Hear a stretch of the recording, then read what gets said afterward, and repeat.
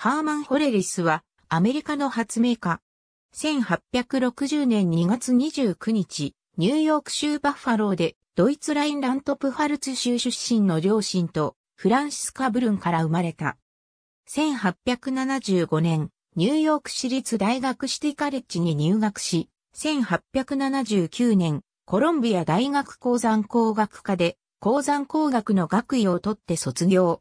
1880年、マンハッタンで鉱山技師となった彼は1890年にはコロンビア大学で PhD を取得した。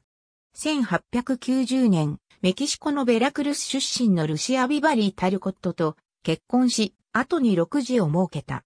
ワシントン DC ジョージタウンに移り住み、その近くにタビュレーティングマシンの製造工場を作った。その工場のあった場所には IBM が設置した記念名板がある。1929年、心臓発作により死去。去年69。墓はワシントン DC ジョージタウンのオークヒル墓地にある。ホーレリスのタビュレーティングマシンとソータアメリカ合衆国統計局は10年に一度国勢調査を行っていたが、1880年の国勢調査は集計作業が9年もかかっていた。ホーレリスは大学卒業後に国勢調査局のジョン・ショー・ビリングス統計部長に誘われて助手として働いた。そしてこの大変な作業を目にしたのである。また、このままでは1890年の国勢調査は10年以内に集計が終わらないことが確実だった。ホーレリスは1882年に MIT の機械工学科で過ごした。その間にパンチカードにデータを格納するシステムを試作している。これは鉄道の車掌が乗車券の様々な場所に穴を開けることで持ち主の状態を表すことからヒントを得たものであった。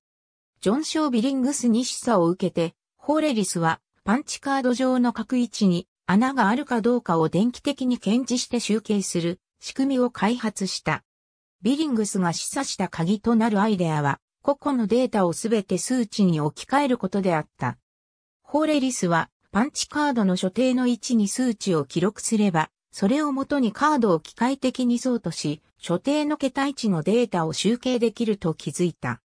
1888年、国勢調査局は統計作業を効率化するための発明コンテストを行い、ホーレリスのシステムが選ばれた。これにより、1890年の国勢調査で、ホーレリスのタビュレーティングマシンが大々的に使われることになった。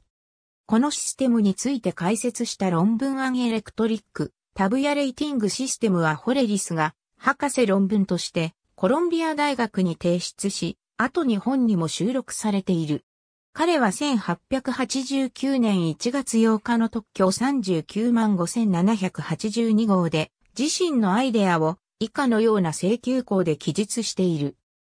非導電製の素材でできたシートに穴を開け、個々の穴や穴の組み合わせで個々の統計項目を記録し、規格化された十分な強度を持った穴開きのシートで制御される電磁石回路によって操作された機械式カウンターによって統計項目を個別、または組み合わせて数えることで構成される統計を編集するここに説明された方法。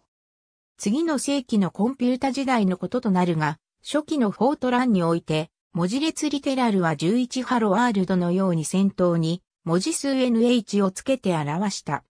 この H はホレリスに由来するものとされ、このリテラルによる定数はホレリス定数と呼ばれた。ホレリスのパンチカード最初の特許を出願したとし、ホレリスは教育の場から去り、アメリカ合衆国国勢調査局のために働き始めた。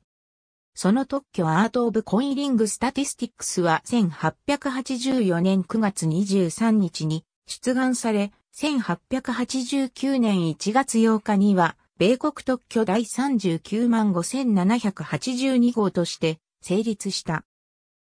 39万5781号、39万5782号、39万5783号という特許の内容は1889年1月18日のサイエンティフィック・アメリカンで公表された。